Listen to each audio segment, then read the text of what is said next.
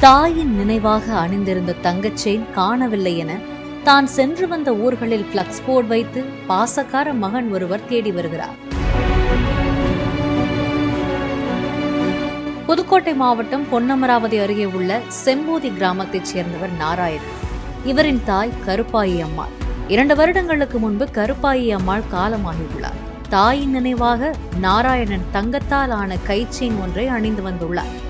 கடந்த திங்கட்கிழமை உசிலம்பட்டியில் உள்ள தனது உறவினர் வீட்டு வளைகாப்பு விழாவிற்கு சென்று வேகுப்பட்டி கொப்பனாப்பட்டி காட்டுப்பட்டி பொன்னமராவதி வழியாக தனது வீட்டிற்கு பைக்கில் வந்துள்ளார். வீட்டிற்கு வந்து பார்த்தபோது தனது கைச்செயின் இல்லாததைக் கண்டு அதிர்ச்சியடைந்தார். வழிநெடுகிலும் தேடி உள்ளார். இருப்பினும் கிடைக்கவில்லை.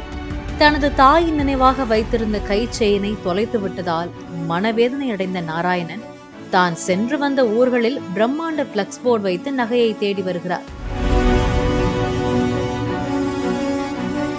அதில் தனது தாய் தொட்டிச்சியம்மன் சாமியாடு எனவும் அவரது நினைவாக தான் கைச்செயின் அணிந்திருந்ததாகவும் எடுத்தவர்கள் திருப்பிக் கொடுத்தால் மனநிறைவான பரிசு வழங்கப்படும் என்றும் கேட்டுக்கொண்டுள்ளார். தாயின் நினைவாக வைத்திருந்த அந்த செயின் கண்டிப்பாக கிடைத்துவிடும் என்று உறவினர்கள் நண்பர்கள் ஆறுதல் கூறி வருகின்றனர்.